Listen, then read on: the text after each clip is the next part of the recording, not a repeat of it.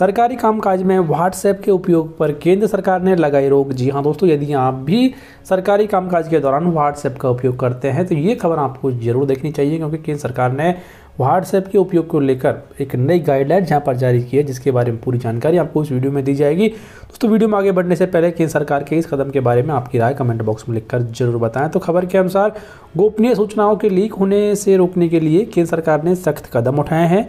अब कोई भी सरकारी दस्तावेज़ व्हाट्सएप या टेलीग्राम जैसे इंटरनेट मीडिया प्लेटफॉर्म पर साझा नहीं किए जा सकेंगे। यही नहीं, गोपनीय मुद्दों से जुड़ी अहम बैठकों में स्मार्टफ़ोन या स्मार्ट वॉच के उपयोग पर भी रोक लगा दी गई है और सरकारी कामकाज की गोपनीयता बनाए रखने के लिए सरकार ने यह नए दिशा निर्देश जारी किए हैं।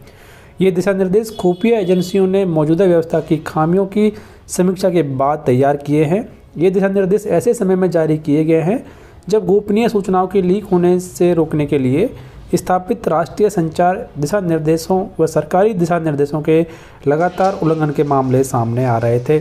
सूत्रों के मुताबिक नए संचार दिशा निर्देशों में सभी सरकारी अधिकारियों से कहा गया है कि वो गोपनीय सूचनाओं को व्हाट्सएप टेलीग्राम इत्यादि पर साझा नहीं करें। इन ऐप के सर्वर को विदेश में निजी कंपनियों द्वारा नियंत्रित किया जाता है। ऐसे में गोपनीय सूचनाओं का भारत विरोधी तत्वों द्वारा दुरुपयोग किया जा सकता है। संशोधित दिशा निर्देशों में यह भी कहा गया है कि घर से काम करने यानी वर्क फ्रॉम होम के दौरान अधिकारी संवाद के लिए सिर्फ़ ई ऑफ़िस एप्लीकेशन का ही उपयोग करें। घरेलू सेटअप के ज़रिए गोपनीय सूचनाओं को भी साझा नहीं करें। घरेलू सिस्टम नेशनल इंफॉर्मेटिक्स सेंटर यानी कि एनआईसी के वर्चुअल प्राइवेट नेटवर्क के ज़रिए ऑफ़िस के नेटवर्क से जुड़े होने चाहिए। इसके अलावा ये भी कहा गया कि मोबाइल पर गोपनीय सूचना स्टोर नहीं करें, कर्मचारी।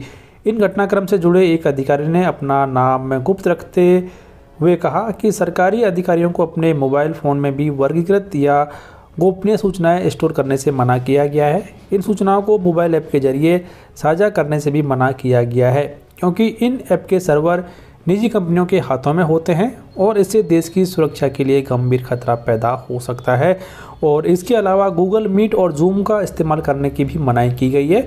वर्चुअल बैठकों के लिए गूगल मीट या जूम जैसे ऐप का भी उपयोग करने के लिए मना किया गया है। इनके स्थान पर सी डेक यानी कि department of advance computing NIC द्वारा स्थापित वीडियो कॉन्फ्रेंसिंग के उपकरणों का अनिवार्य पासवर्ड के साथ उपयोग करने की सलाह दी गई है और इसके अलावा एलेक्स का एलेक्सा होम पाड के उपयोग पर भी रोक लगा दी गई है।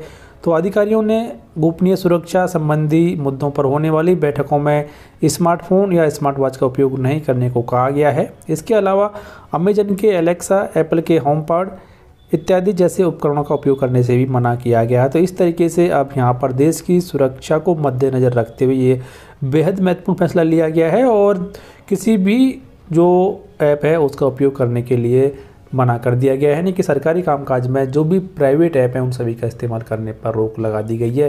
तो ये एक बेहद महत्वपूर्ण कदम उठाया गया।